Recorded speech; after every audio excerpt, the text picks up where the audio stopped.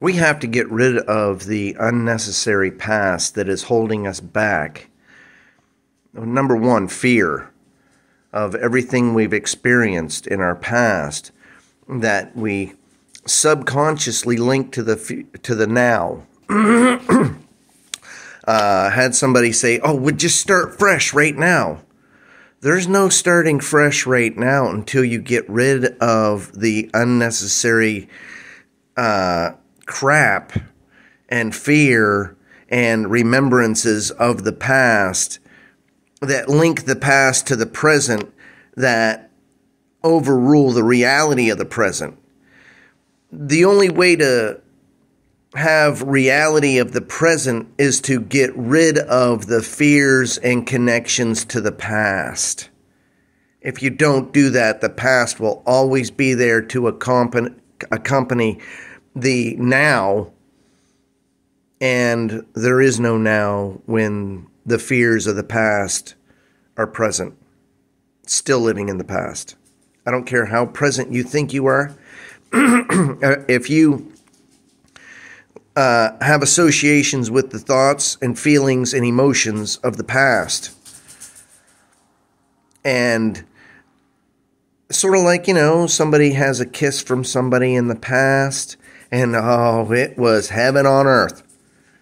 But the thing is, is that they're bringing it into the now, which skews the reality of the now because of the influence of the past.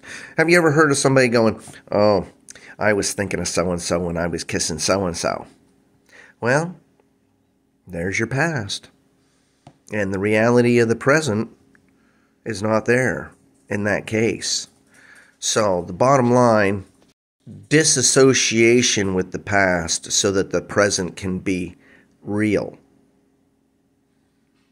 A disassociation and a disconnection from the past, whether uh, right, wrong, good, evil, uh, beneficial, unbeneficial, profitable, unprofitable, a disassociation with the past that is not profitable, not beneficial, not healthy, a disassociation with that, and a a cutting off of the past thoughts. Whenever your th- past thoughts try to uh, be part of the present, uh, no, that's part of my past. I there's nothing to think there. You think about the things in your past. This is a good uh, good focal point. If you're in a situation in the present and your mind jumps you with thoughts of the past, you have to realize your mind just jumped you. Your emotions just jumped you. Your feelings just jumped you if it has anything to do with the past. And you have to be awake in order to see that. You have to be awake in order to see the things of the past being unbeneficial in your present.